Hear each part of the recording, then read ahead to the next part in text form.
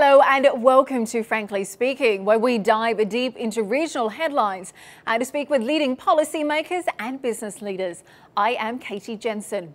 With climate change taking centre stage at COP27, we speak with Robert Boyd, the regional lead of global sustainability policy and partnerships at Boeing. We ask him if the aviation industry, currently responsible for 2.5% of global emissions, can really go green or if real progress is still decades away. Do governments need to subsidise sustainable aviation fuels, or will it be travellers left footing the bill?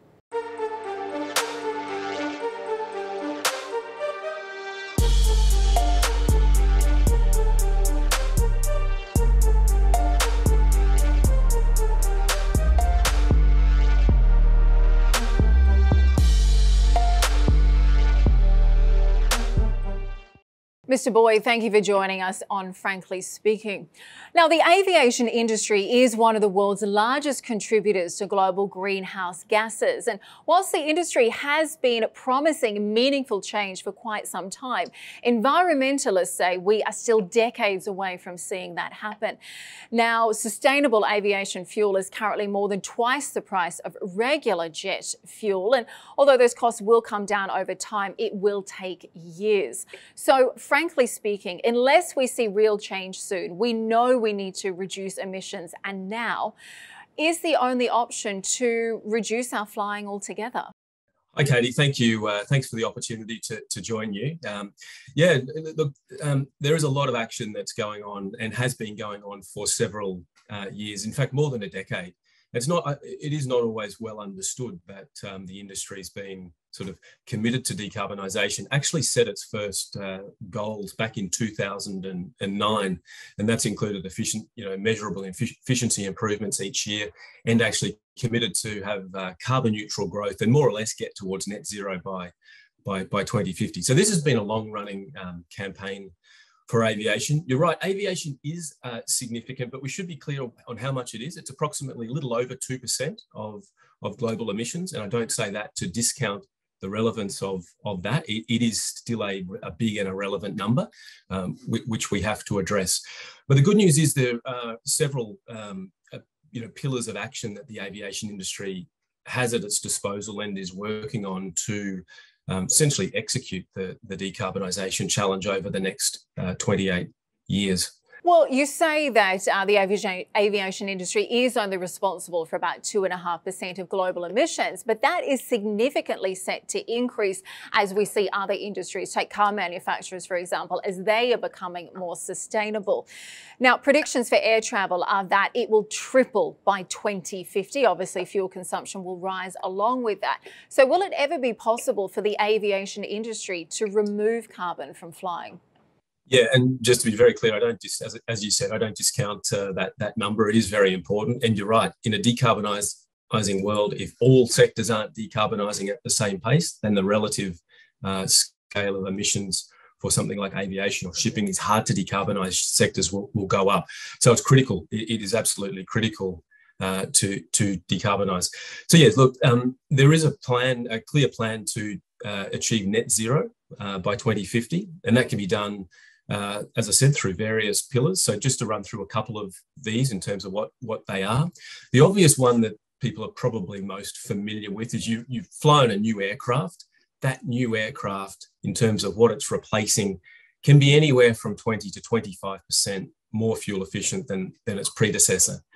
You know, so these are these are significant numbers, and maybe bringing this to life a little bit more. That's that's something like uh, say 25 tons of CO2 a day saved by, by using the best in class um, uh, modern modern fleet, and that can be a couple of hundred thousand tons of CO2 over its lifetime. So these are significant.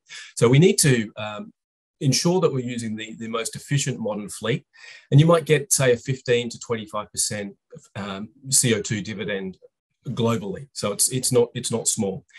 Then you can look at operations. So operations there is still opportunity to improve further, but noting, I mentioned that aviation's been at this for, for several years or even decades. Um, uh, you know, a lot of the easy operational uh, improvements are already there. They're embedded in the technology that that we use today.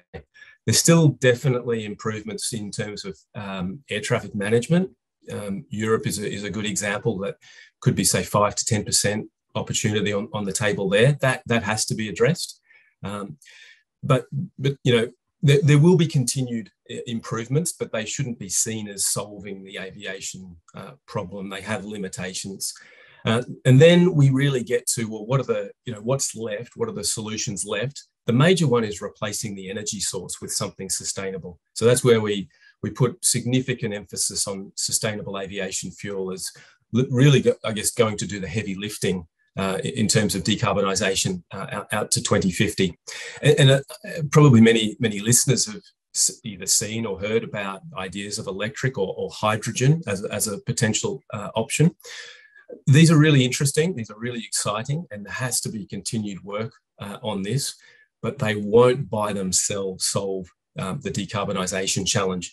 Um, just to be clear, why I say that is today, about three quarters of all of the uh, international emissions are from wide body long haul travel you know, and the technology limitations don't allow for hydrogen or electric in that space just yet. Maybe it may be in due course, but today it's not. It's not a viable solution. So SAF is the key uh, over the next 30 years. So, one of the other big changes we saw happened about a year ago. Around 200 countries came together and agreed to try and reduce emissions in commercial aviation. Now, this has been one of the most ambitious uh, agreements to date so far for the industry.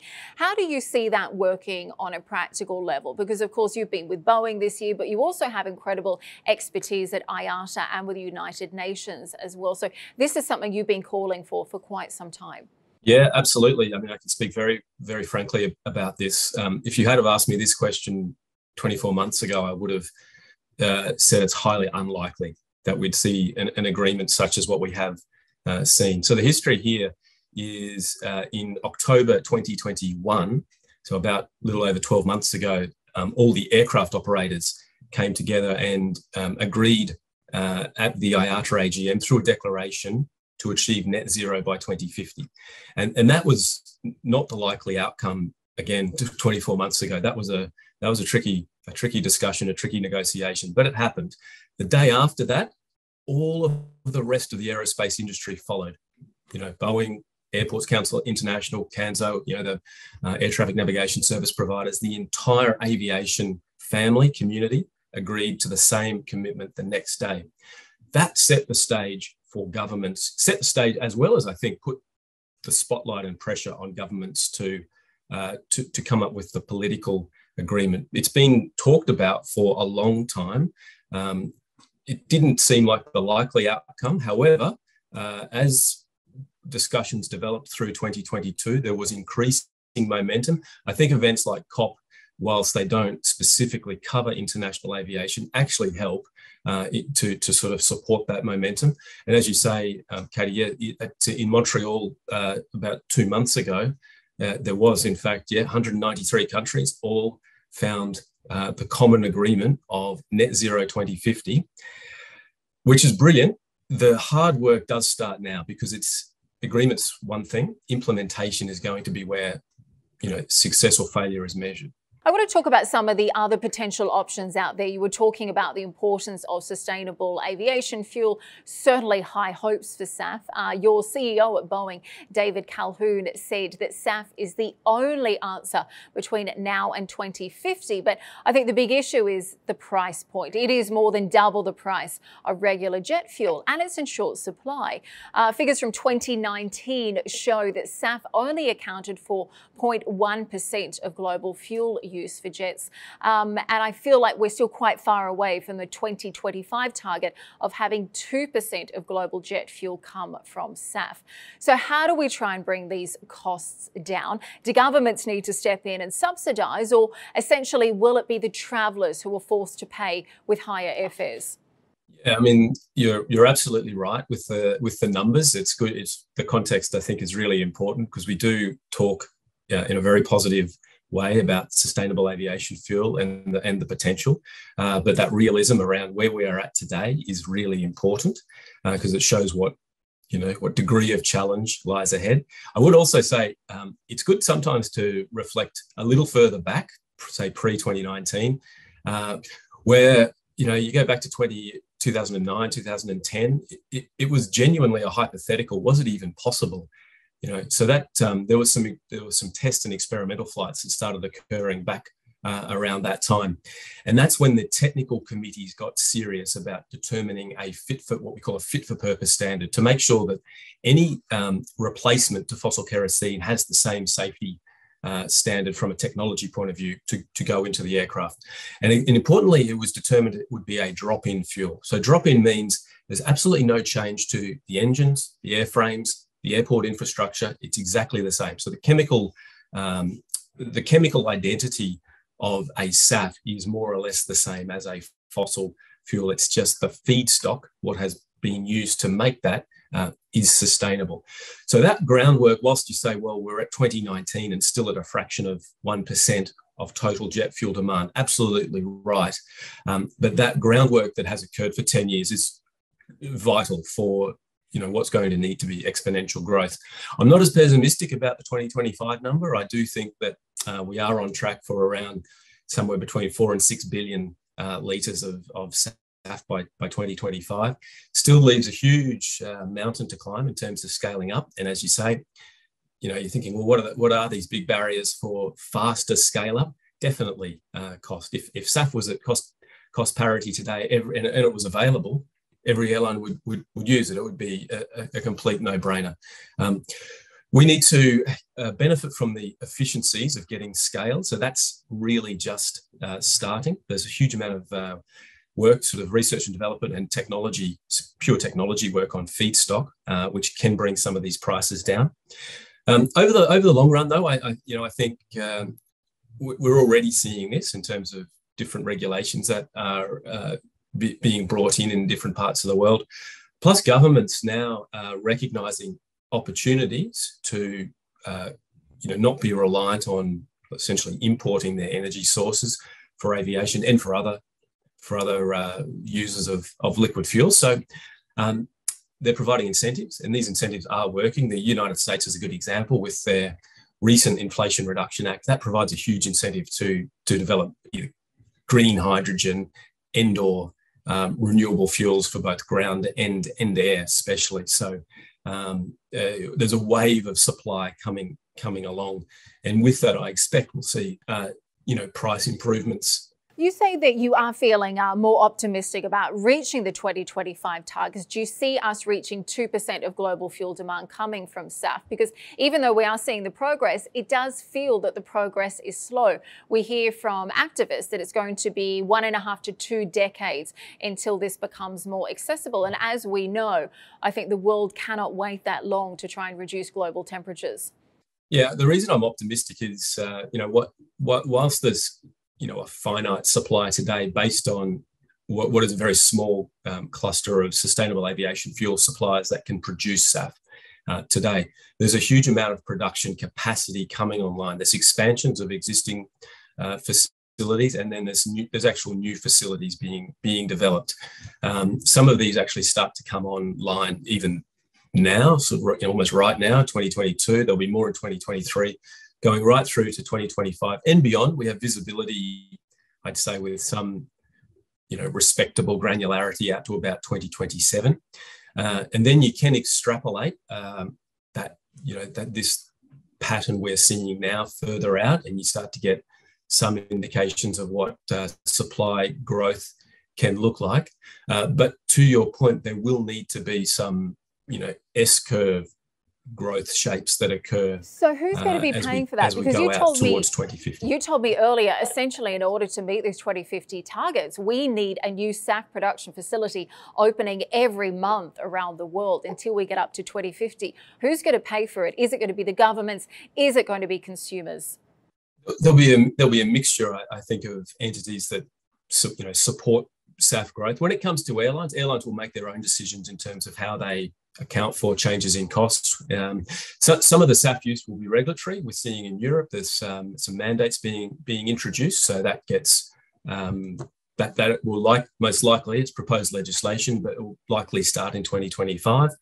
Uh, in other cases where you've got strong incentives, honestly, SAF is not uh, double the price at all. It's with the incentives, it's it's competitive with uh, sustainable with uh, regular jet fuel. So who's paying for those incentives though?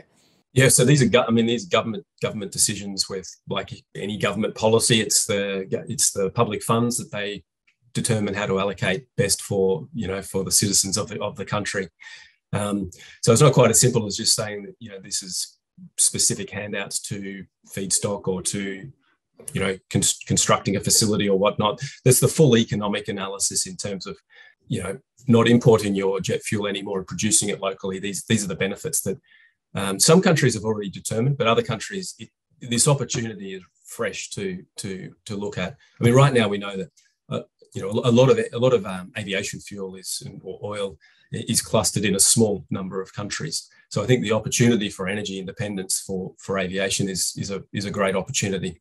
And certainly more challenging. I mean, to, to your point, for, do, does this trickle through to does this trickle through to um, to the customer? Well, well, every, everything in, in a ticket is is is part of the cost of operating um, aviation.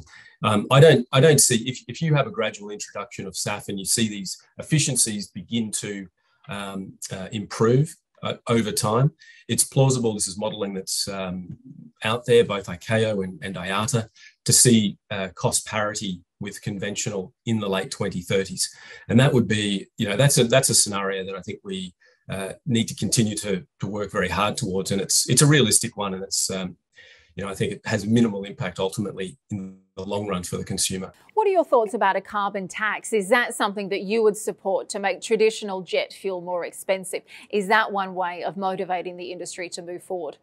A tax on jet fuel has um, always been a, a complex discussion because international jet fuel is not subject to uh, to taxation. And again, it was it comes down to um, competitive distortion issues. So this this is a, a, a long-standing agreement under the ICAO protocol.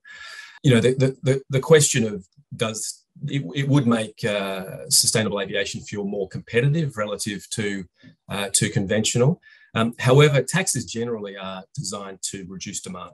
Um, so, are they the most effective means? You know, I'm saying this as an, as an economist, are they the most effective means to uh, to, to, advance the, the, the scale up of SAF? My view is no.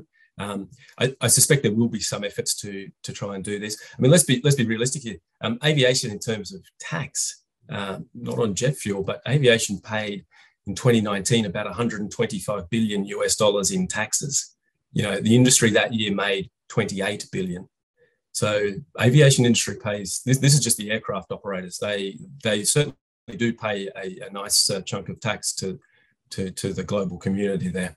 I think one of the other big issues we've seen, uh, something we've discussed a little bit today, is about the fact the aviation industry is very fragmented in different parts of the world. The, uh, the CEO of Dubai Airports, Paul Griffiths, told us on this program earlier this year that in order for SAF to really make an impact, we need to make sure it's available at every commercial airport around the world so that planes can refuel before they return home. Now, this is something the World Bank has also called for. They've said that uh, the development of SAF needs to expand beyond OECD countries. Do you see that happening and how quickly? Yeah, I, I totally agree with that. In, in, fact, it's one of the, well, I think the good news stories about sustainable aviation fuel is that, um, you know, it's, it's actually it, it, almost every country, I would say, has some type of technology or feedstock combination that that can produce SAF. So this is really not um, this is not like uh, energy today that it is clustered in very particular areas of the world where there's significant oil reserves. Um, you know, there's there's more than 50 different technology feedstock combinations that you could use to make SAF literally applicable to any type of geography, any any type of um, so, sort of socio-economic conditions. Uh, that, that opportunity is great. So I, I definitely agree. Uh, the, the, what's, what's really important is that perhaps the more developed uh, areas in terms of SAF uh, technologies share this uh, share this technology you know position at the moment and make sure that all countries can develop at an acceptable pace so that we don't just have SAF in a couple of you know hub airports.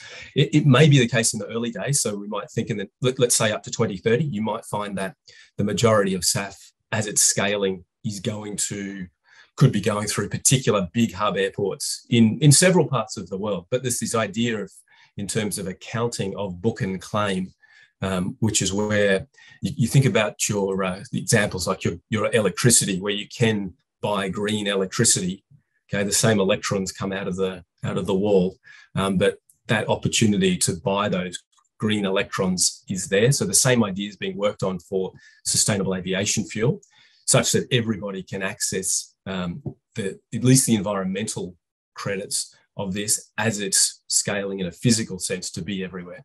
Because I think at the moment it's certainly very challenging for developing nations with a smaller budget. Uh, let's talk about some of the other options. Uh, battery powered flights. There's been some interest in that. However, they're typically only viable for short haul flights. The batteries are quite cumbersome. Uh, earlier you mentioned uh, hydrogen powered planes. again, interesting idea there, but hydrogen requires so much volume to store it. It would essentially require a complete redesign of the plane in order to be able to store the hydrogen. So, what other options do we have? Well, I mean, aside from, I mean, they're your two alternative, your two alternatives we would consider plausible today. Um, aside from replacing fossil kerosene, so using SAF, certainly there is a lot of work going on um, with with hydrogen. Um, there's still a lot of learning to do there. I think it's it's it's accurate to say we can do it. But but you're alluding to some really interesting questions, Katie, which, which is sort of should we? So if you have a drastically different looking plane, does that mean we accept going and you know thinking about trying to redesign totally redesign airports? Could change the whole efficiency uh, of aviation in terms of uh, restrictions for how you refuel a hydrogen plane. You know, there's trillions of dollars of fuel infrastructure already, uh, either in the ground or pipelines going to uh, two airports. So you'd be replicating that. But these are really complex um, sort of questions, I think, that need answers before you can have a sort of a sensible discussion on, on is hydrogen actually realistic uh, as a solution for, for aviation in the time frame we're talking. I think if we were talking a 2050 to 2100 time frame, you know, this this will be a sort of a different uh, conversation. So, not certainly not to say that there shouldn't be continued work going on there, but it you know really won't be it won't be the silver bullet uh, for aviation decarbonisation. Electric's the same. It's it has its its physics limitations, which is you know getting that weight off the ground and you know relative to the amount of energy that that battery delivers. And of course, the the other sort of challenge you have to overcome, or you can't really overcome with a battery, is you carry that weight on the entire distance of the flight. Where with a liquid fuel, that weight essentially disappears. It, it gets, you know, you land with with a portion of your fuel load weight um, at destination. So that's another challenge.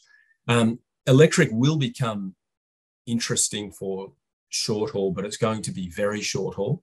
Um, we could say up to a thousand nautical miles, uh, and that's, as I said earlier, that's not that's not where the decarbonisation challenge is. Uh, to, today, the short haul uh, activity is relatively small, you know, around one quarter total um, of all of all global emissions. So, I mean, outside of that, you, you have the other things I mentioned, which are continuing to develop um, operational efficiencies and, and continuing to develop better aircraft. That's not going to stop at all. Okay, well, I want to ask um, you about developing again, better aircraft, actually, because, of course, Boeing has been involved yeah. in using SAF for quite some time. I know you've operated a number of SAF powered uh, planes commercially. How are you changing the way you are designing the carriers of the future to make them more sustainability, uh, more sustainable? You know, when we look at the kind of technology that's being used in the cockpit, as well as how you're trying to make planes lighter and obviously more fuel efficient. How are you seeing that change? How will it change travelers' experience?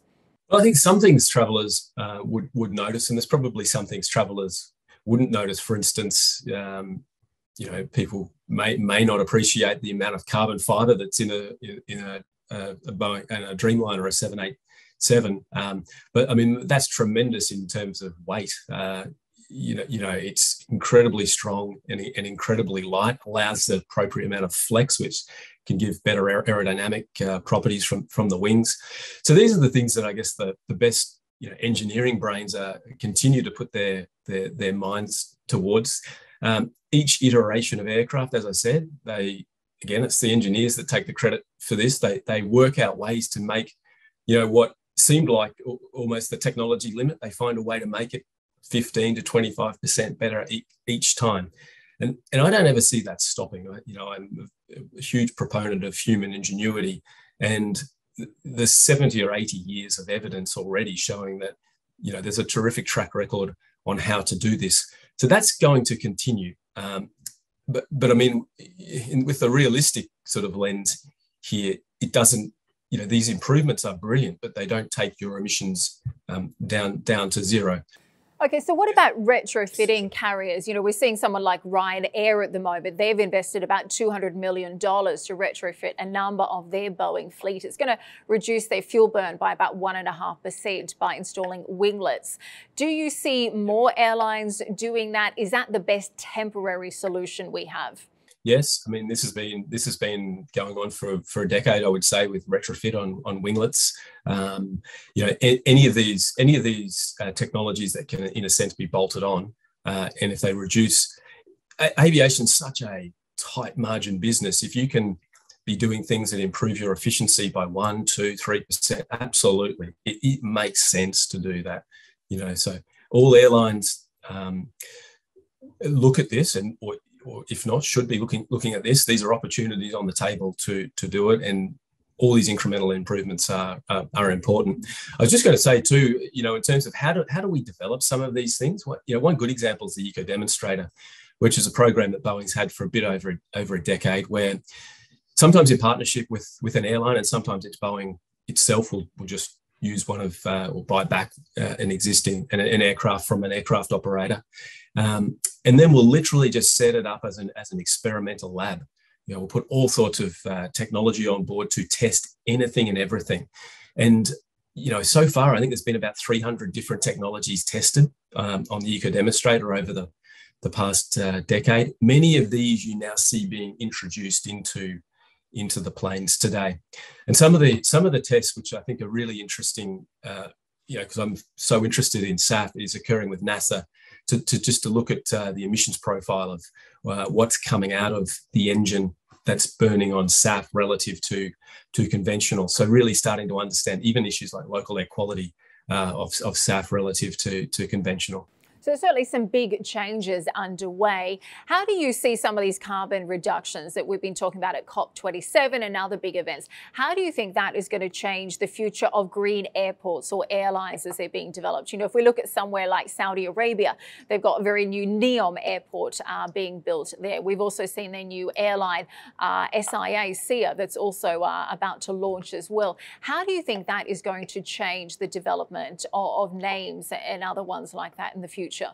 Yeah, I mean, I think airports. It's, it's a really interesting phase for airports at the moment. If you're building a brand new airport, to be trying to think a decade or 15 years into the future in terms of some of those things I just mentioned. What you know, what what, what is likely to be um, feasible, plausible, or, or actually implemented. Things like should you have hydrogen supply built in uh, to the airport? Much easier to do this when you're building the airport than to try and go and do a sort of a patched up effort um, by necessity. Things like the type of electricity going going to the airport.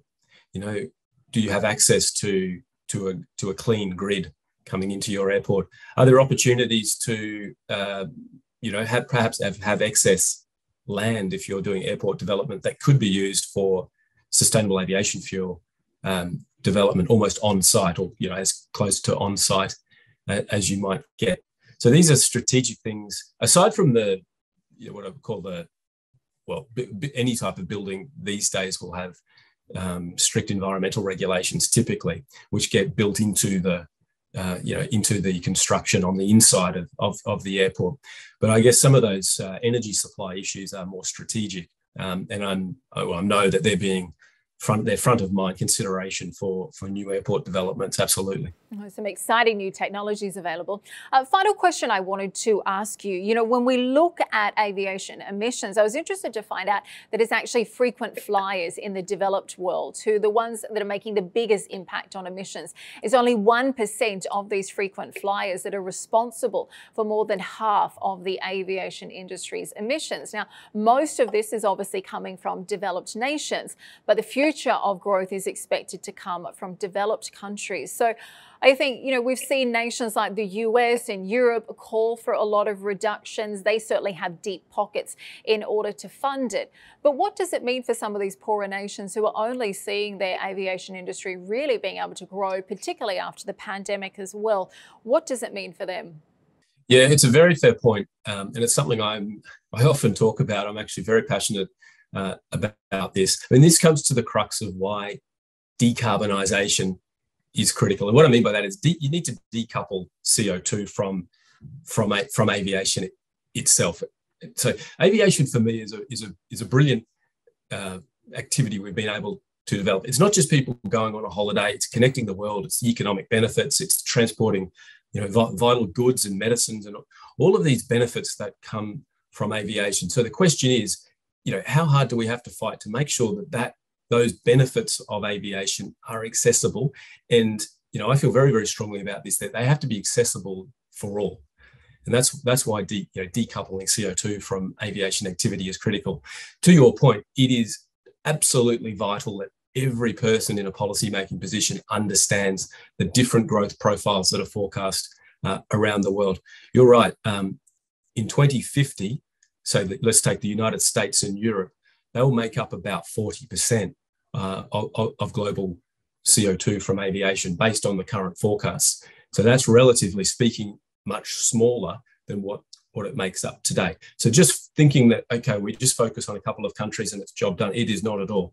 You know, we need all, all of this same momentum to to translate to China, to India, uh, to the fast growing parts of Asia, all of Asia, but there's some very fast, fast growing areas like Indonesia, Bangladesh, South America, Brazil. Brazil's a huge aviation market, and then Africa, exactly the same. So this to me is a role that ICAO can certainly be influential on, making sure you know they, they have a um, a term no country left behind and that's absolutely vital i'd say with boeing one of the things that we're you know certainly focused on very much in in the team i'm working in which is boeing international is is having a footprint in several of these countries that you just um, mentioned katie so we're looking to play our role in helping these um, technologies and these projects uh, develop there because yeah we have to solve this for, for the world and it's absolutely vital that uh, you know everyone everyone, literally everyone in the future has the opportunity to, I guess, enjoy the benefits of, of air travel, just like many of us have in the past. Absolutely. I think certainly a global crisis like this require, uh, requires a global commitment in order to get that solution. Mr. Robert Boyd, thank you very much for joining us today on Frankly Speaking. Really appreciate your time. Absolute pleasure. Thank you very much.